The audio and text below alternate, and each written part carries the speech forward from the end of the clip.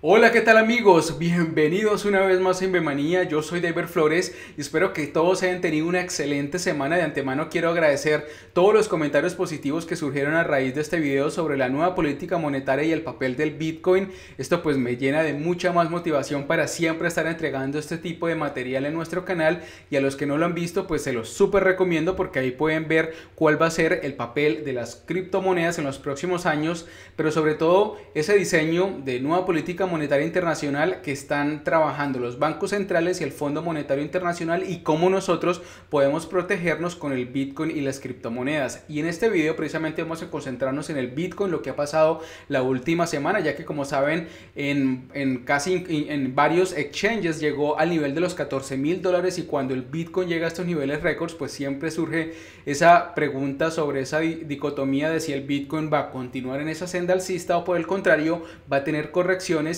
y entonces establecer cuál puede ser ese piso de rebote donde el Bitcoin puede llegar. Entonces en este video vamos a analizar hasta, hasta dónde podría caer el Bitcoin, si por ejemplo podría caer en el nivel de los 12 mil dólares. También vamos a estar analizando otras criptomonedas que nos pueden estar indicando nivel de entrada y finalmente a los amantes de la inteligencia artificial, ahí les voy a tener una sorpresita. Si te gusta este video, regálanos un like, trata de compartirlo con todos tus amigos y suscríbete a nuestro canal para que formes parte de nuestra gran familia Invemanía. Comencemos.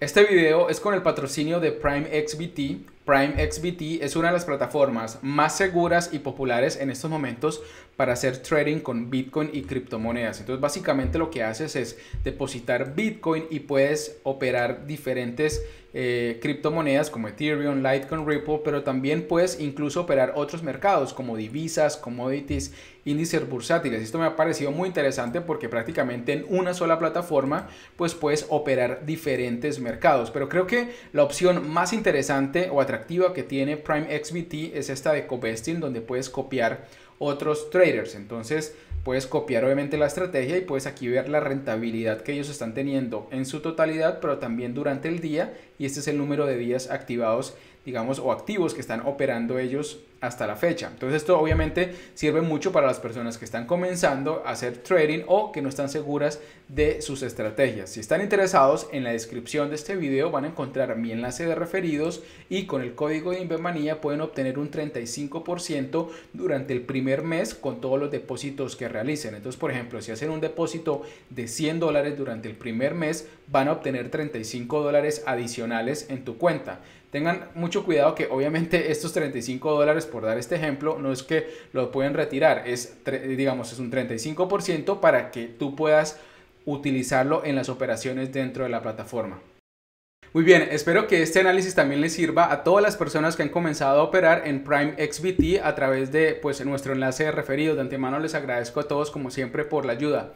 El Bitcoin, pues la semana pasada, como sabemos, tuvo este rompimiento ya, digamos, de este techo histórico que tenían los 12 mil dólares y luego obviamente ha llegado casi a ese nivel de techo acá, como ves, de los 14 mil dólares, como les comentaba, pues en ciertos exchanges incluso tocó este mechazo acá, que es precisamente ese nivel histórico anterior que hemos tenido en junio del 2019 y en esta mecha, pues de una semana, como ves, está prácticamente aquí en este rango. Ahora, ¿Qué pasa? Obviamente pues sí tuvo este rompimiento de tendencia alcista que llevaba como esta expansión normalmente en el precio eh, que surge cuando cada vez más eh, un mercado pues está mostrando niveles superiores, sí, de techo cada vez más pues va teniendo niveles bajos más altos y niveles altos también más altos. Esto eh, para las, los traders comunes o las personas que están comenzando pues puede ser un inicio de una tendencia alcista mucho mayor, normalmente lo ven como algo de eh, precisamente un rompimiento de tendencia que genera mucho más fuerza. Pero para los traders ya un poco más profesionales o que ya tienen mucho más años curtidos en el análisis de mercados y de gráficos, pues esto puede incluso ser un efecto contrario o puede, puede ser visto desde otro ángulo, ya que normalmente este tipo de rompimientos eh, de tendencias hacia alcistas son básicamente lo que se llaman como rompimientos falsos, es decir, como roturas falsas que ciertos analistas llaman y es que cuando se genera este tipo, digamos, de rompimientos de esta tendencia eh, alcista, que no tiene mucha fuerza, es como si fuera un engaño. Muchos, digamos, compradores eh, o traders eh, analizan y dicen, no, ya este es momento de compra porque precisamente va a continuar entonces en esta senda alcista y cuando ven es que ocurre todo lo contrario, precisamente tiene pues una, una corrección o una caída. Y es que ahí es cuando entra, digamos, e-, eso que se llama el... trading cuantitativo y hay unas altas probabilidades en este tipo de comportamientos de mercado que existan correcciones posteriores como las que les voy a, a mostrar en estos momentos. Por ejemplo, si nos remontamos acá, a, más o menos, acá desde julio del 2015 hasta junio del 2016, básicamente íbamos en esta senda alcista, como ves, iba en aumento, iba en aumento, tuvo este rompimiento el Bitcoin, como ves, y pues obviamente muchos pudieron pensar, no, efectivamente va a continuar en esta senda alcista y como ves, tuvo todo lo contrario. También efectivamente surgió lo mismo acá, si vemos posteriormente, desde agosto, si más o menos de junio del 2016 hasta marzo del 2017. Entonces tuvimos este rompimiento acá, se pudo pensar lo mismo y se generó todo lo contrario.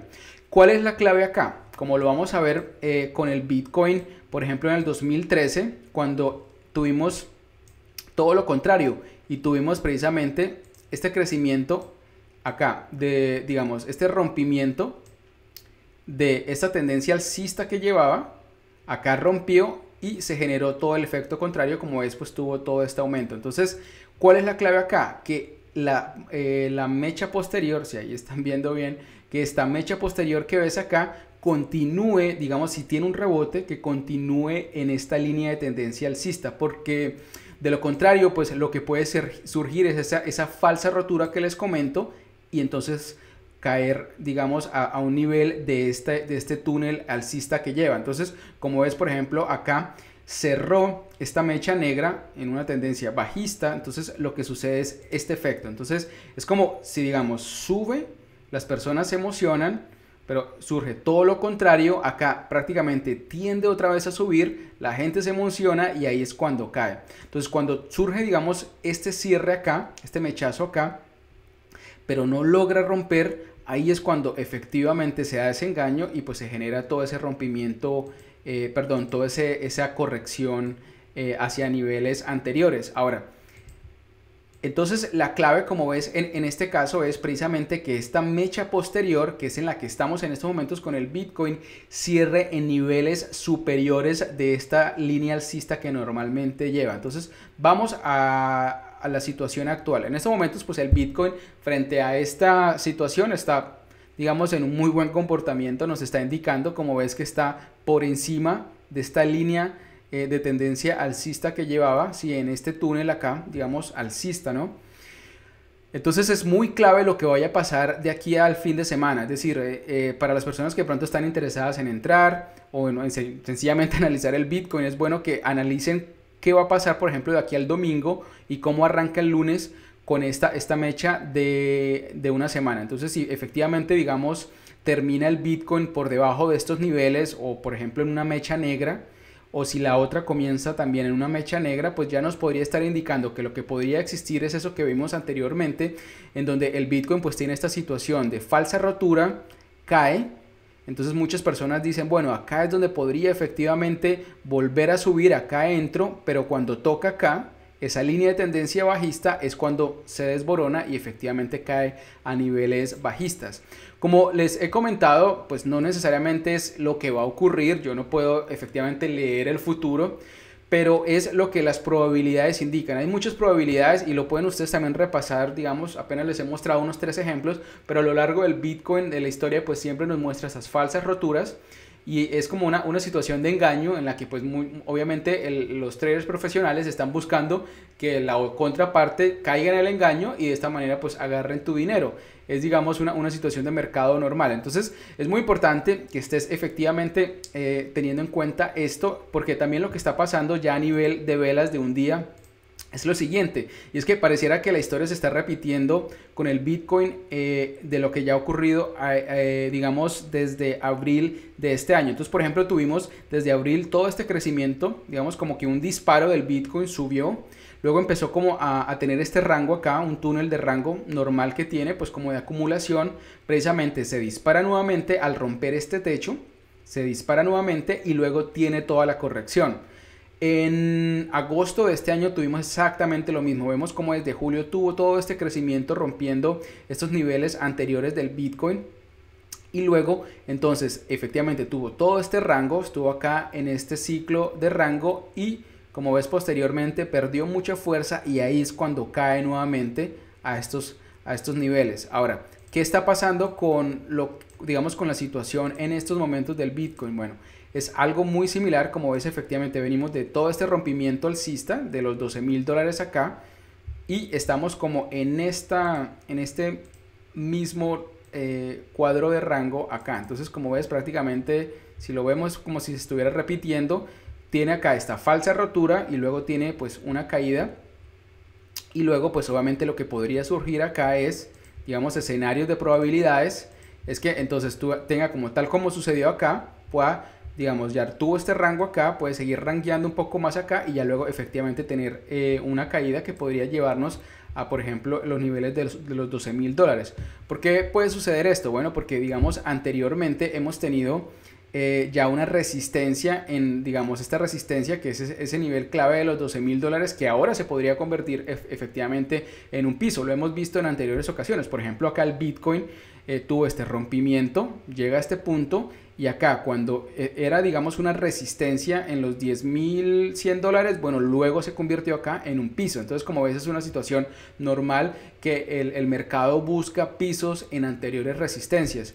Y digamos que esto podría surgir o puede existir esta, esta, posibilidad por lo que les estoy indicando, por las probabilidades de esa falsa rotura que se puede generar en los próximos días con el Bitcoin, pero también, como les he comentado en anteriores videos, todavía Ethereum, que es un indicador eh, de, liderazgo, digamos, de anticipación que acá les he mencionado en anteriores videos, pues no me está mostrando el mismo comportamiento ¿sí? O la misma recuperación que lleva el Bitcoin. Entonces, por ejemplo, el Bitcoin pues ha tenido todo este crecimiento en las últimas semanas y Ethereum todo lo contrario está como prácticamente en esta corrección. Por lo menos no ha roto este nivel anterior de los 420 dólares, ni hablar obviamente del nivel de los 450 ni 500 dólares, que son como estos niveles superiores que me podrían indicar, bueno, ya efectivamente Ethereum, está nuevamente en esa senda alcista. Y otro punto también para eh, analizar eh, junto con lo que les estoy diciendo de, los de, estos mercados, es que el SP500, que es también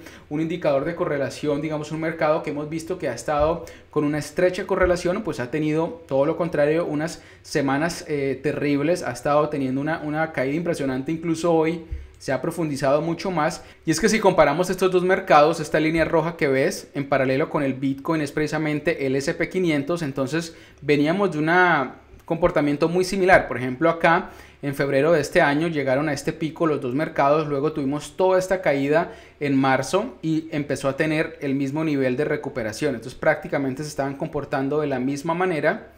Y como ves, ya en octubre, eh, digamos el 18 de octubre, que fue cuando el Bitcoin pues tuvo todo este crecimiento, todo este salto, todo lo contrario ocurrió con el SP500. Entonces aquí hay, digamos, dos formas de interpretar esto. O una es que precisamente, pues hay una como una gran diferencia, una dicotomía clara de lo que está pasando, prácticamente rompieron ya esa relación o alguno de los dos mercados está diciendo mentiras, es decir, que de pronto el Bitcoin está sobrevalorado y en algún momento se van a volver a reajustar. Entonces la pregunta ahí es si cuando se vayan a volver a encontrar, si es que el Bitcoin es el que precisamente necesita tener esa caída para que nuevamente pues los dos lleguen al mismo punto y efectivamente vuelvan a comportarse de la misma manera. Lo mismo ha pasado, por ejemplo, con el oro. Hemos tenido toda esta, esta caída luego de, ese nivel, digamos, de los eh, 2 mil dólares que tuvo por, eh, por onza.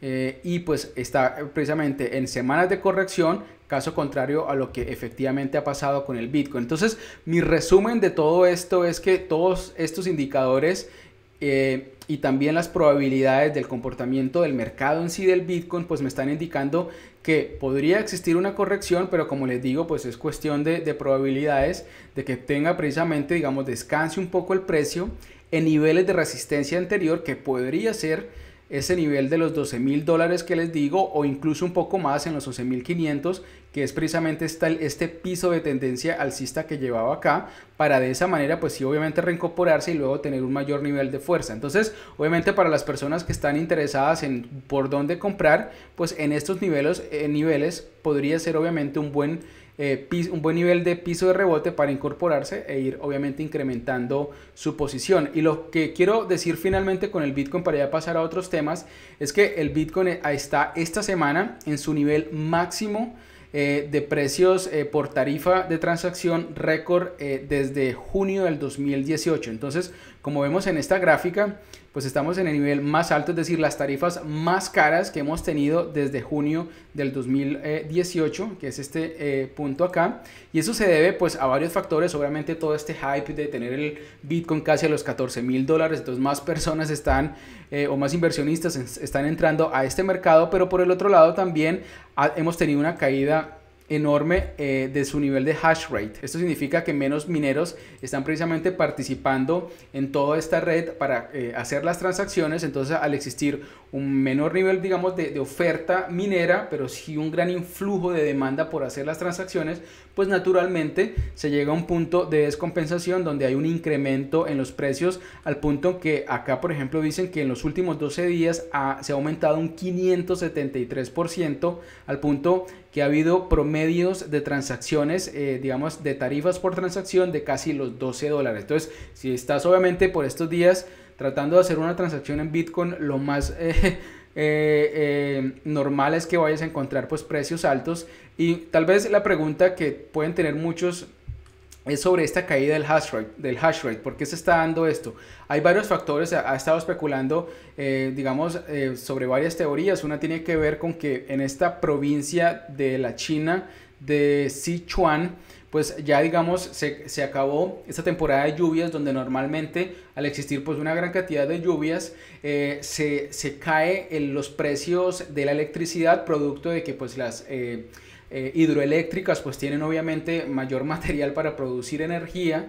Y normalmente lo que pasa después de esta temporada eh, de lluvias es que se mudan a Mongolia o se mudan a otros lugares estas empresas mineras y entonces mientras se reajustan pues existe como este gap, este gap, esta brecha para ya luego otra vez eh, incorporarse. Y otros también dicen que precisamente con todo este hype de los proyectos DeFi y lo que han aumentado pues muchos eh, de estas mineras o estas empresas han estado como mudándose a, empezar a hacer transacciones para Ethereum, que pues la verdad es que Ethereum sigue siendo esa moneda con mayor, eh, digamos, eh, es mucho más atractivo minar Ethereum que minar Bitcoin en estos momentos, dadas las condiciones de mercado. Y precisamente hablando de otras criptomonedas, lo interesante que está pasando, digamos, en, en el mercado en la última semana es que Em, eh, digamos, hemos tenido el Bitcoin creciendo, esta, esta última semana ha crecido un 4.36%, pero todo lo contrario ha pasado con la mayoría del mercado cripto. Hemos visto cómo pues, hemos estado en rojos en la mayoría, incluso se ha profundizado mucho más en todos estos proyectos DeFi. Hemos visto, por ejemplo, cómo Uniswap ha caído en la última semana casi un 21%, Compound 9.42%, Yearn Finance 18.50%, incluso hay, hay muchos proyectos de eh, DeFi que han caído casi un 50%. Y esto se debe a que precisamente, pues luego ese hype que tuvimos de todos esos proyectos DeFi, eh, acá más o menos el 2 de septiembre, luego tuvimos como este mechazo acá, pues estamos en esta corrección del dominio del mercado de las 100 eh, monedas más importantes eh, de este mercado con relación al Bitcoin. Entonces hemos tenido una corrección de este dominio del mercado de más o menos un 15%, ubicándonos en casi un 36%. Entonces la pregunta que surge aquí de todo esto es, bueno, ante esta corrección, es una buena idea aprovecharla para precisamente comprar más barato y pues incrementar mi posición a lo que puede ser eh, futuros aumentos de todos estos proyectos. Digamos que la respuesta puede ser sí, hay que aprovechar precisamente cuando existen ese tipo de correcciones porque pues muchos están pensando en vender, pero otros estamos pensando en agarrar esas ventas para precisamente ubicarnos en una mejor posición. Pero la verdadera pregunta es cómo, porque pues por ejemplo, si vemos dos eh, monedas, dos mercados que vamos a ver, este de Uniswap y esta de Band, es por ejemplo esta claramente nos muestra una profundización de su caída, prácticamente ha caído Aquí podemos verlo desde su nivel más alto, casi un 77%, que fue más o menos acá el 18 de septiembre. Entonces, claro, podríamos comprar acá porque pues está mucho más barato, un 77% más barato, pero qué tal que caiga a su nivel más bajo, decir, que podría caer a un 92% y pues obviamente podríamos estar perdiendo ese dinero. Entonces aquí la estrategia en sí no es comprar porque... Eh, existe como una, un dicho, digamos, en, en, los traders que uno no debería meterse en un mercado cuando, cuando está cayendo una moneda así o, un activo así, porque es como estar poniéndole la mano a un cuchillo en, en, caída. Entonces te puedes cortar. Entonces aquí el punto fundamental es cómo entrar, como les estaba diciendo. Y lo clave es no tanto, digamos, ya entrar aquí, sino empezar a ver cuáles son esos niveles superiores que el mercado me puede estar indicando. ¿sí? Entonces ya ante una corrección eh, y luego un posterior rebote que tiene cualquier mercado, eh, dejémoslo hasta ahí, que por ejemplo llega acá, este puede ser su nivel más bajo que tuvo, entonces ya me empieza a mostrar, bueno, ya efectivamente tuvo una recuperación, ya rompió este nivel anterior superior, ah, ahora me está mostrando que rompió este también de acá, entonces ya me, podría, por ejemplo, indicar que acá podría ser un buen nivel de entrada y así subsecuentemente. Entonces cada vez que veas que eh, te está mostrando mayores niveles de comprobación al estar rompiendo niveles eh, de, de techo anteriores, pues efectivamente puedes entrar como un poco más seguro. Entonces, la recomendación es no entrar aquí porque esto, como les digo, pues puede seguir cayendo, pero ya cuando te indique niveles de recuperación ante rompimientos de resistencias anteriores, pues ya efectivamente ante una corrección, por ejemplo, acá en estos puntos, es cuando te indica, bueno, ya puede estar mucho mejor. Obviamente en el mercado pues nunca se sabe, pero al menos tienes una probabilidad mucho más a tu favor que en estos momentos que podría continuar profundizándose esa corrección. Lo mismo pasa, por ejemplo, con una criptomoneda como Band, donde pues acá está mostrando que efectivamente podría llegar a este piso anterior, ¿sí? En este nivel de los 27.734 satoshis que ves acá. No, casi los, perdón, 29.500 entonces podría continuar efectivamente llegando acá a este rebote. Y pues es lo mismo. Entonces en vez de entrar ahí cuando efectivamente toque ese piso es empezar a, analizar qué está pasando en los próximos días.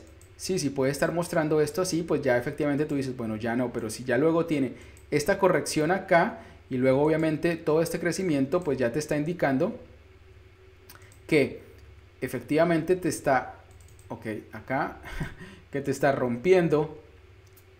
Entonces, estos niveles de resistencia anteriores, ¿sí? Y efectivamente te está diciendo, bueno, ya está teniendo una recuperación, ya no está llegando, digamos, a niveles de mayor profundización en la corrección. Entonces, es clave esto, esto yo creo que es como un trading básico, pero muchas veces lo olvidamos cuando estamos como en esa efervescencia de esto está cayendo, esto está muy barato y hay que entrar ya porque de pronto puedo perder la oportunidad. Entonces, son efectivamente tips básicos que te permiten por lo menos tener un poco más de esa probabilidad a tu favor cuando ingreses. Y mi recomendación siempre es no entrar por ejemplo con todo tu dinero acá digamos en este punto sino seguir comprobando qué está pasando y en una posterior corrección de rebote también entrar un poco más y así ir entrando de poco a poco y así vas obviamente lento pero seguro.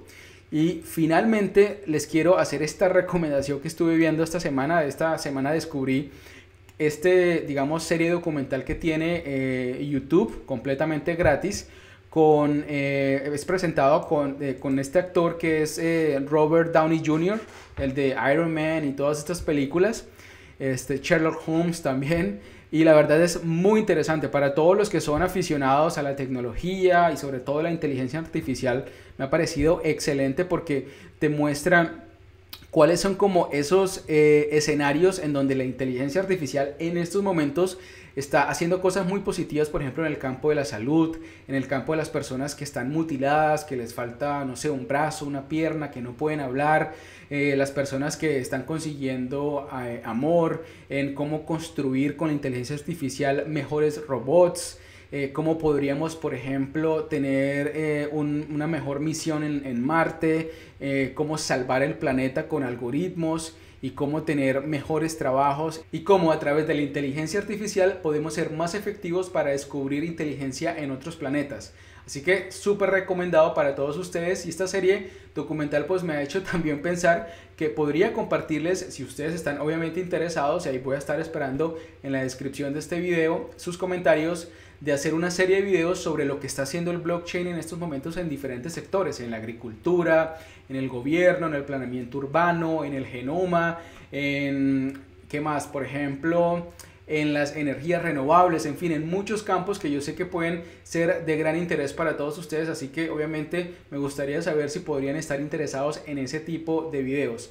Muy bien amigos, esto es todo lo que tenía para compartirles en este video, espero como siempre que haya sido de mucha utilidad y antes de despedirme pues me gustaría saber cómo están viendo el Bitcoin por estos días y también qué otras criptomonedas han estado analizando que pueden tener como unos buenos niveles de entrada para los próximos días. Como siempre, pues voy a estar muy atento a todas sus preguntas, dudas o comentarios en este video o en nuestro grupo público de Telegram arroba comunidad Invemanía. Muchísimas gracias por tu atención y nos vemos en el próximo video. Chao. Música